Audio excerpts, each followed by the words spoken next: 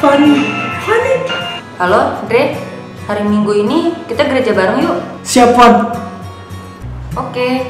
Tapi misalnya pagi ya, yang jam 6. Oke, Fan.